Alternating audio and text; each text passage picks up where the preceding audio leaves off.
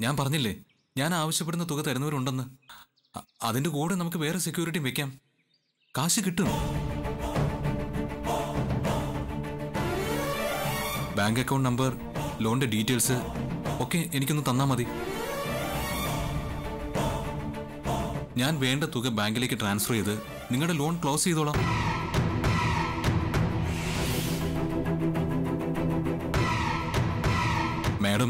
ആധാരമെടുത്ത് എനിക്ക് കൈമാറിയ മാത്രം മതി. ഇതിലൊക്കെ ചെറിയ നൂലാമാലകളുണ്ട്. എങ്കിലും സച്ചിനെ ഞങ്ങൾ വിശ്വസിക്കുക. ഒരു നല്ല സുഹൃത്തിനെ സഹായിക്കാതിരിക്കാൻ പറ്റാത്തതുകൊണ്ട് ഞാൻ അതെടുത്ത് തരാം. പിന്നെ സൂര്യചേട്ടന്റെ ആ സ്വപ്നം നടക്കണമെന്ന് ആഗ്രഹവുമുണ്ട്. സച്ചിൻ വേണ്ടത് ചെയ്തു. ഞാൻ ഹെൽപ്പ് ചെയ്യാം. Thank you madam. ആ പിന്നെ സച്ചിൻ ഏത് ബാങ്കിലാണ് ആധാരം പണയപ്പെടുത്തുന്നത് എന്നുള്ളതിന്റെ ഡീറ്റെയിൽസ് എനിക്ക് തരണം. മാഡത്തിനെന്താ എന്നെ വിശ്വാസക്കുറവുണ്ടോ? ഏയ് അതുകൊണ്ടൊന്നുമല്ല. ഒന്ന് അറിഞ്ഞിരിക്കണമല്ലോ. ഓ. ഗോവേട്ട ഒരു മിനിറ്റ്.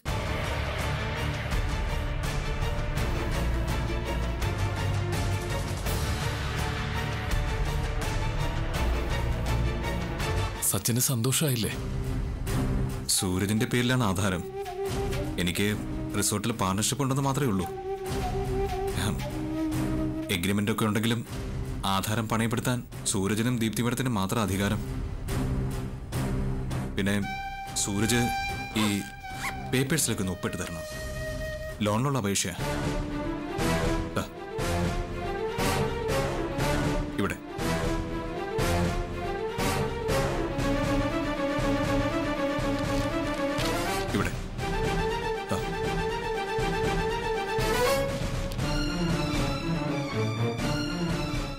വിശ്വാസത്തിന്റെ പുറത്താ ചെയ്യുന്നത്.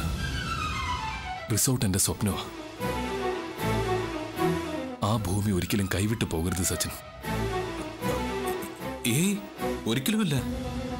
ഇപ്പോ തൽക്കാലത്തെ ഒരു ആവശ്യത്തിന് പണയപ്പെടുത്തുന്നത് മാത്രമേ ഉള്ളൂ.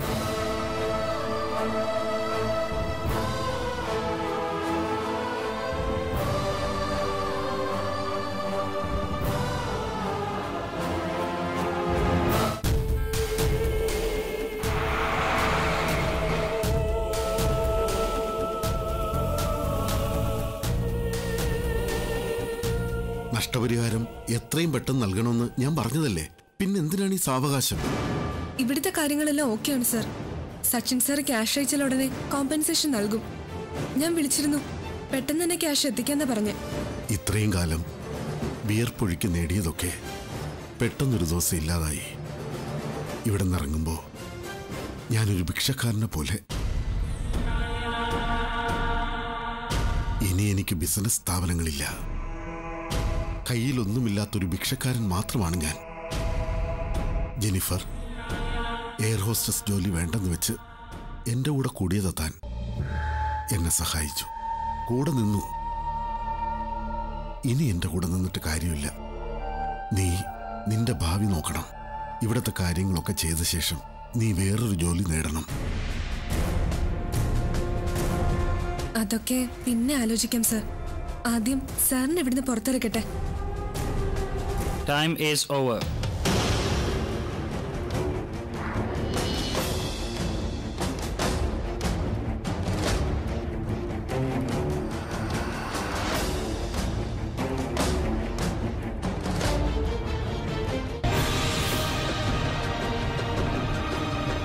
എല്ലാം നഷ്ടപ്പെട്ട് നിങ്ങളും നിങ്ങളുടെ മോളും മോളുടെ ഭർത്താവും തെരുവിലൂടെ അലയുന്നത് ഞാൻ കാണും അത് കണ്ട് സന്തോഷിക്കണം എനിക്ക്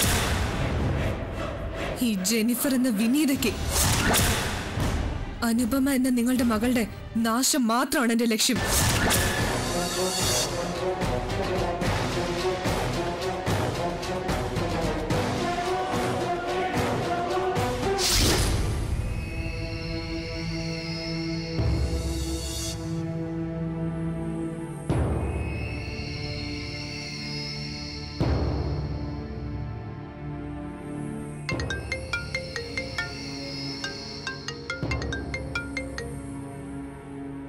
ഹലോ സാബിർ? ദീപ്തി താൻ എവിടെയാ ഞാൻ വീട്ടിലാ. എനിക്കൊന്ന് ബാങ്ക് വരെ പോണം. കുറച്ച് അത്യാവശ്യം ഉണ്ടായിരുന്നു. അത് ശരി. വിനീതയെ കണ്ടുപിടിക്കാനുള്ള കാര്യങ്ങൾ എന്നെ ഏൽപ്പിച്ചിട്ട് വീടും ബാങ്കും റിസോർട്ടും ഒക്കെ ആയിട്ട് കറങ്ങി നടക്കുകയാണല്ലേ? വിനീതയെ ഞാൻ അന്വേഷിക്കുന്നുണ്ട് സാബിർ. അവൾ ലണ്ടനിൽ തന്നെ ഇപ്പോഴും ഉള്ളത്. അത് ഉറപ്പാ. കടൽ പോലെ കിടക്കില്ലേ ലണ്ടൻ? എങ്ങനെ കണ്ടുപിടിക്കും? ധനപാലനും സംഘത്തിനും വിനീത ലണ്ടനിലുണ്ടെന്നറിയാത്തതുകൊണ്ട് പേടിക്കാനൊന്നുമില്ല. അയാൾക്ക് അവളെ കണ്ടെത്താനൊന്നും കഴിയില്ല. അതാ ഒരു ആശ്വാസം. എന്നൊന്നും പറയാൻ പറ്റില്ല. അവർ അന്വേഷണത്തിലാണ്. വിനീതയെ കണ്ടെത്തി കൂടുന്നില്ല എന്റെ ഒരു ഫ്രണ്ടുണ്ട് മിസ്റ്റർ മോഹൻരാജ്. അവൻ ലണ്ടനിലെ നന്മ എന്ന മലയാളി അസോസിയേഷന്റെ പ്രസിഡന്റാ ഞാൻ അവനെ വിളിച്ച് പറഞ്ഞിട്ടുണ്ട്. ഒന്ന് അന്വേഷിക്കാൻ. താങ്ക് യു സബർ. നമുക്ക് നോക്കാം. പെട്ടെന്ന് തന്നെ വിനീതെ കണ്ടെത്താൻ കഴിയുമെന്നാണ് എന്റെ വിശ്വാസം. പിന്നെ എങ്ങനെ പോന്നു തന്റെ കാര്യങ്ങളൊക്കെ? കള്ളപ്പണക്കാരെ വല്ലതും പിടികിട്ടിയോ? ഇതൊക്കെ ഒരു പ്രഹസനമാണ് സാബർ. ഇത്തരക്കാർക്ക് ഉന്നതങ്ങളിൽ നല്ല ബന്ധമുണ്ടാവും അതുകൊണ്ട് തന്നെ നമുക്ക് അവരെ പിടികൂടാൻ പ്രയാസമായിരിക്കും. ഇനി പിടികൂടിയാൽ തന്നെ അവരൊരു പോറൽ പോലും ഏൽക്കാതെ പുറത്തിറങ്ങും. അങ്ങനെ ഒന്നും ഇറങ്ങാൻ പറ്റില്ല ദീപ്തി. ഈ സാബറല്ലേ ഓപ്പറേഷൻ നടത്തുന്നത്? ചിലരെയൊക്കെ ദിവസങ്ങൾക്കകം ഞാൻ പോക്കും. അവർക്ക് ചുറ്റും ഞാനിങ്ങനെ കറങ്ങിക്കൊണ്ടിരിക്കുക സമയമാകുമ്പോൾ പിടി വീഴും. നടക്കട്ടെ. ഓൾ ദി ബെസ്റ്റ് ഞാൻ വിളിച്ചോളാം. Okay okay thank you Deepthi.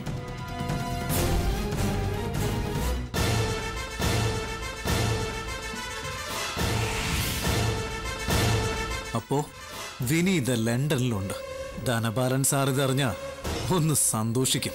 ആ സന്തോഷം എനിക്കുള്ള ചവിട്ടുപടിയാ. മുന്നോട്ടുള്ള ചവിട്ടുപടി.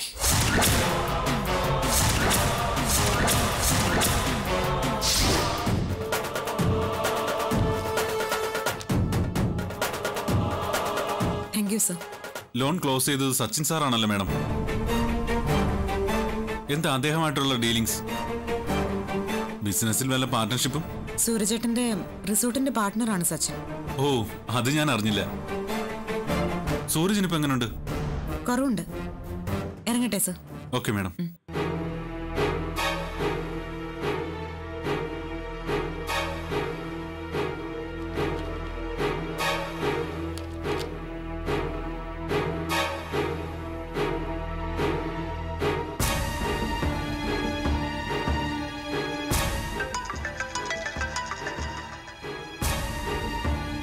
Hello madam.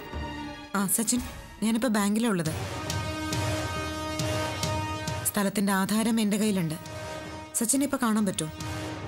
മാഡം ഞാൻ അല്പം തിരക്കിലാണല്ലോ. ഒന്ന് രണ്ട് പേര് വിസിറ്റ് ചെയ്യാൻ വരുന്നുണ്ട് ഇപ്പോ. ഞാൻ മാഡത്തിന് വീട്ടിൽ വന്ന് ആധാരം വാങ്ങിച്ചോളാം. ഇന്ന് തന്നെ വരാം. ഓക്കെ ഞാൻ വീട്ടിലുണ്ടാവും. Okay madam.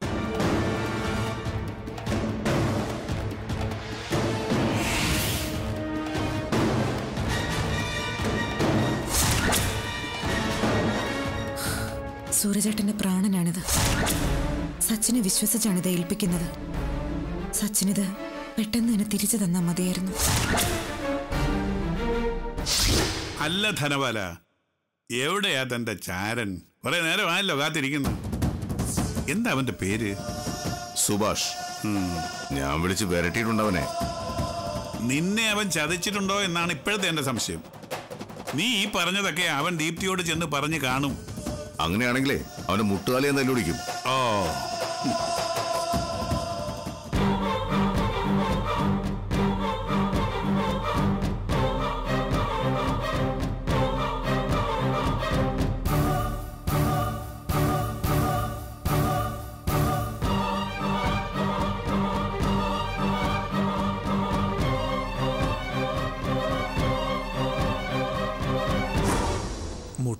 തല്ലി ഓടിക്കണ്ട. അവസാനം വിനീത എവിടെയുണ്ടെന്ന് ഞാൻ കണ്ടെത്തി. എന്റെ പൊന്നുമോനെ പറയടാ. അവൾ എവിടെയുണ്ട്? കുറച്ച് ദൂരെയാ. അങ്ങ് ലണ്ടനിൽ.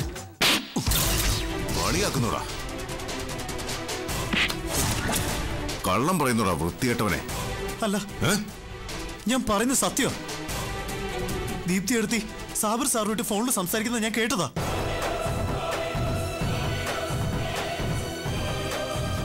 വിനീത് ലണ്ടനിൽ തന്നെയുള്ളത്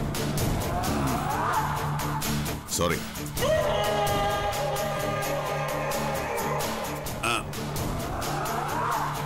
അവൾ ലണ്ടനിൽ എവിടെയാ? അവിടെ എന്ത് ജോലി ചെയ്യുന്നു? അതൊന്നും എനിക്കറിയില്ല. ലണ്ടനിലാണെന്ന് മാത്രമേ ഞാൻ കേട്ടുള്ളൂ. ഗുഡ്. നീ പറയുന്നത് സത്യമാണെന്ന് തൽക്കാലം ഞങ്ങൾ വിശ്വസിക്കുന്നു. ഞങ്ങളൊന്ന് അന്വേഷിക്കട്ടെ. ഞാൻ അല്പം സാമ്പത്തികമായി ബുദ്ധിമുട്ടിലാണെന്ന് ധനപാലൻ സാറിനോട് ഞാൻ പറഞ്ഞിരുന്നു.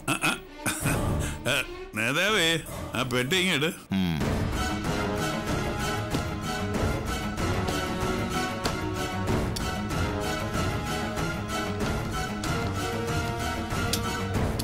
ഇത് എത്ര ഉണ്ട്? അൻപതിനായിരം. ആ കൊടു കൊടു.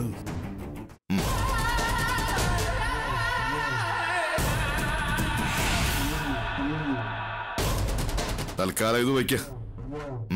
നമുക്കിനിയും കാണാമല്ലോ. സുഭാഷ് നേതാവിന്റെ കൂടെ കൂടിക്കോ? തനിക്ക് രാഷ്ട്രീയത്തിൽ നല്ല ഭാവിയുണ്ട്.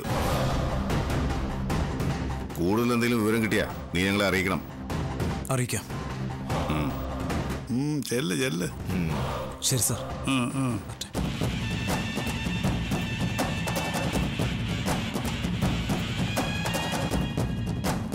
അവൾ ഉള്ളത് ലണ്ടനിൽ. എങ്ങനെ കണ്ടെത്തും നമ്മൾ? ലണ്ടനിലുള്ള നമ്മുടെ ചാനൽ സുഹൃത്തുക്കളോടെല്ലാം ഞാൻ വിളിച്ച് സംസാരിക്കാം. അക്കാര്യം ഞാൻ ഏറ്റു. അനുപമയുടെ അച്ഛൻ കൃഷ്ണകുമാർ ലണ്ടനിലെ വ്യവസായിയ. അനുപമയിലൂടെ അയാൾ അയാളിലൂടെ വിനീത.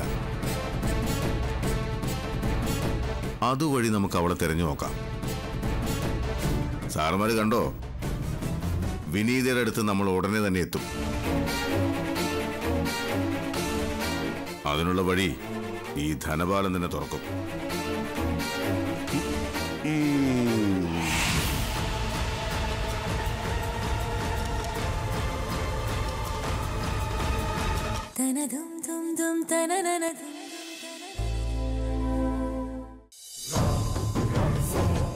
നാലു മാസമായി അയാൾ അടയ്ക്കാൻ കൊടുക്കുന്നില്ല. ഇനി സാവാസം കൊടുക്കേണ്ട കാര്യമില്ല. ആ വണ്ടി ഇങ്ങ് പിടിച്ചെടുത്തേക്ക്. സാർ ഞാൻ മനോജ് കുമാർ. നേരത്തെ വിളിച്ചിരുന്നു. മനസ്സിലായി. സത്യനാഥിന്റെ ഫ്രണ്ടാണെന്ന് പറഞ്ഞതുകൊണ്ടാ വരാൻ പറഞ്ഞേ. എത്ര കാസാ വേണ്ട? അൻപത് ലക്ഷം. കാസ് തരാം. പ്രോപ്പർട്ടിയുടെ ആധാരം കാണിക്കണം. എത്ര തരാൻ പറ്റുമെന്ന് അപ്പൊ പറയാം. അഞ്ച് സെന്റ് സ്ഥലവും വീടുമാണ് ഉള്ളത്. ബാങ്കിൽ വെച്ചാൽ മാക്സിമം ഒരു ഇരുപത് ലക്ഷം രൂപ കിട്ടും. അത് പോരെ എനിക്ക്. ഒരു കമ്പനി തുടങ്ങാനുള്ള പ്ലാനിലാണ് ഞാൻ. എവിടെയായി സ്ഥലം? അരീക്കോട് സിനിമാ തിയേറ്റർ നടത്താം കുഴപ്പമില്ല. നല്ല വിള കിട്ടാൻ കൊടുക്കുന്ന ഏരിയ നാളെ എന്തായാലും ആധാരവും പേപ്പേഴ്സും ആയിട്ടൊക്കെ വരൂ. അമ്പത് ലക്ഷം ഞാൻ കൊടുക്കാം. താങ്ക് യു സർ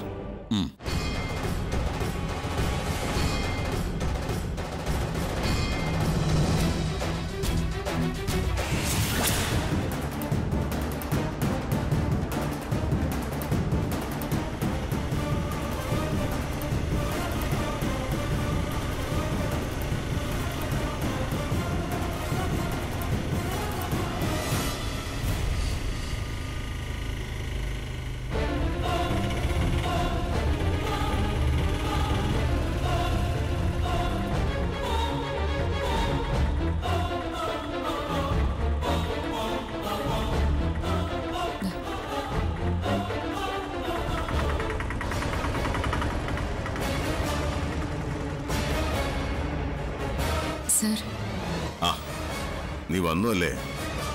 ഞാൻ കരുതി നീ വരില്ലാന്ന്. ഒരു അഞ്ച് മിനിറ്റ് വെയിറ്റ് ചെയ്തതിന് ശേഷം നീ വന്നില്ലെങ്കിൽ നിന്റെ വീട്ടിലേക്ക് വരാനിരിക്കായിരുന്നു. സർ എന്നെ ഇങ്ങനെ ഉപദ്രവിക്കരുത്. എനിക്കറിയില്ല വിനീത് എവിടെ ഉണ്ടെന്ന്. എന്റെ ഭർത്താവ് ഇതറിഞ്ഞ എന്റെ ജീവിതം തന്നെ തകരും. അതുകൊണ്ടല്ലേ ഞാൻ നിന്നെ ഇവിടെ വെച്ച് മീറ്റ് ചെയ്യാൻ തീരുമാനിച്ചത്. നിന്റെ ഭർത്താവെന്നല്ല. ആരും അറിയില്ല. എനിക്ക് വിനീത് എവിടെ ഉണ്ടെന്ന് അറിയില്ല. പിന്നെ എന്തിനാ സർ എന്നെ വീണ്ടും വീണ്ടും ചോദ്യം ചെയ്യുന്നത് പ്ലീസ് സർ എന്നെ വെറുതെ വിട്. നിനക്കറിയില്ല എവിടെ എവിടെയുണ്ടെന്ന് പക്ഷേ എനിക്കറിയാം അവൾ എവിടെയുണ്ടെന്ന് വിനീത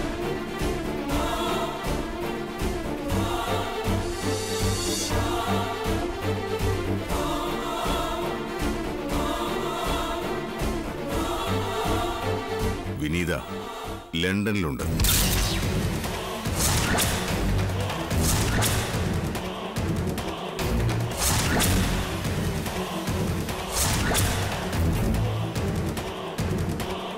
അവൾ അവിടെ എവിടെ താമസിക്കുന്നു എന്ത് ചെയ്യുന്നു എന്നൊന്നും എനിക്കറിയില്ല.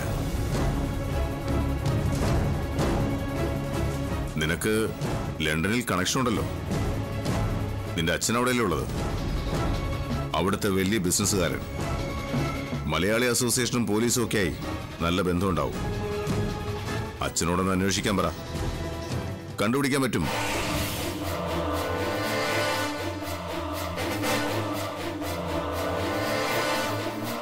അദ്ദേഹം വിചാരിച്ച കണ്ടുപിടിക്കാൻ പറ്റും.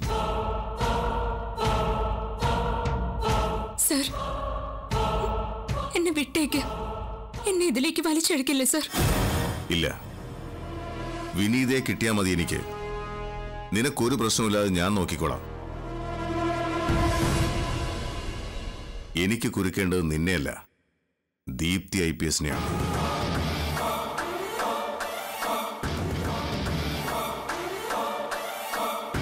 നീ എന്നെ ഹെൽപ്പ് ചെയ്തേ പറ്റൂ. ഏതായാലും നീ നിന്റെ അച്ഛനെ വിളിച്ചൊന്ന് അന്വേഷിക്ക. വേണ്ടി വന്നാൽ നീ അവിടം വരെ ഒന്ന് പോ.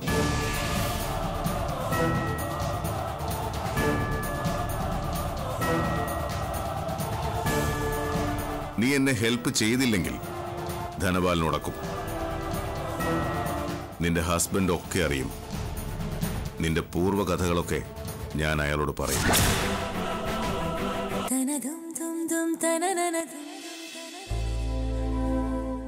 നീ എന്നെ ഹെൽപ്പ് ചെയ്തില്ലെങ്കിൽ ധനപാലിനോടക്കും നിന്റെ ഹസ്ബൻഡ് ഒക്കെ അറിയും. നിന്റെ പൂർവ കഥകളൊക്കെ ഞാൻ അയാളോട് പറയും.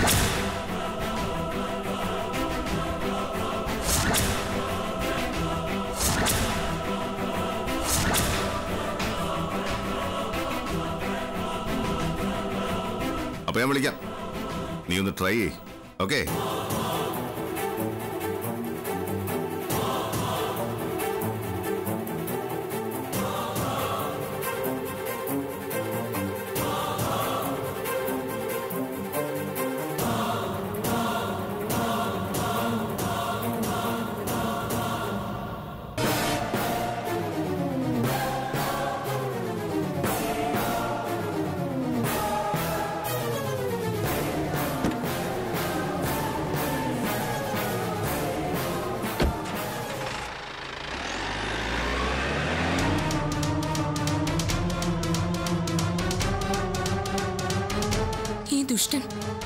കണ്ടെത്തിയ?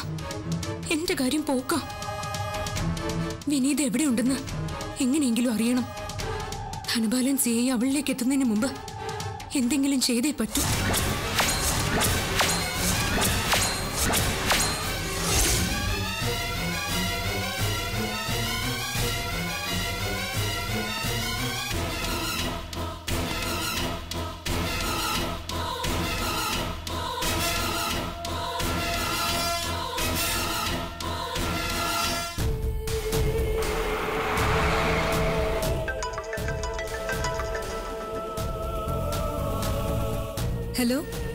ജെനിഫർ ഞാൻ അനുപമയാ സംസാരിക്കുന്നത് അനുപമ പറയൂ.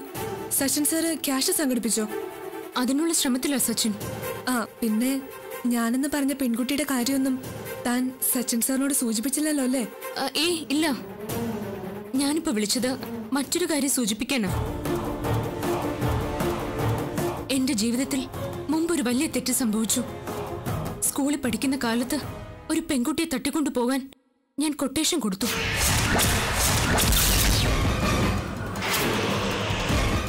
അധികം വിശദീകരിക്കണ്ട. എനിക്കറിയാം അതൊക്കെ.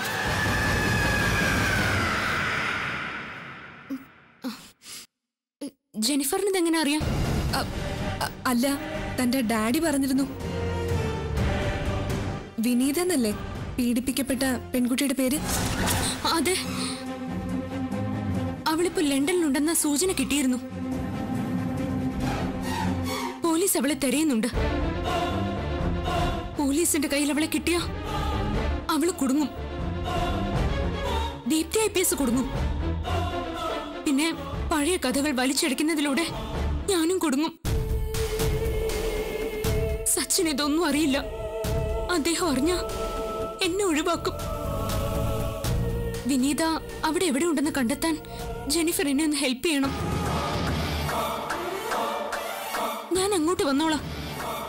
അവളുമായിട്ട് എനിക്കൊന്ന് സംസാരിക്കണം. പോലീസിൽ ഒരു കാരണവശാലും എത്തരുത്. ഡാഡിയും സച്ചിനും ഇതൊന്നും അറിയരുത്. അവിടെ മലയാളി അസോസിയേഷനുമായി ഒന്ന് ബന്ധപ്പെടണം. ഞാൻ അവളുടെ പഴയൊരു ഫോട്ടോ തനിക്ക് സെൻഡ് ചെയ്ത് തരാം. താൻ സെൻഡ് ചെയ്തോ?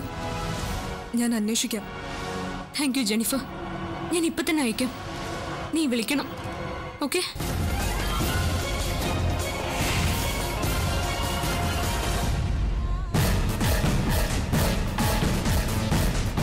സംസാരിച്ചത് ആ വിനീതയോട് തന്നെ അടി. ഞാൻ നിന്റെ മുന്നിൽ വരും. നിന്റെ അച്ഛനും ഭർത്താവും വീണതിന് ശേഷം വരും. നിന്നെ ഇല്ലാതാക്കാനായി വരും.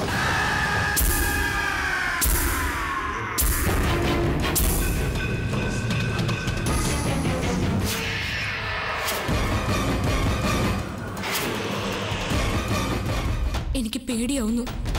ധനപാലൻ സി ഐ എന്റെ പുറകെ തന്നെ ഉണ്ട്. ധനപാലൻ വിനീതയെ കൈയോടെ പിടികൂടും കൃഷ്ണ എന്റെ കുഞ്ഞിനെ ജയിലിൽ കയറ്റി അവനാണ്. വിനീതയെ ഒരിക്കലും ധനപാലൻ കണ്ടെത്താൻ പോകുന്നില്ല. അതിനു മുൻപേ ഞാൻ അവളെ കണ്ടെത്തും.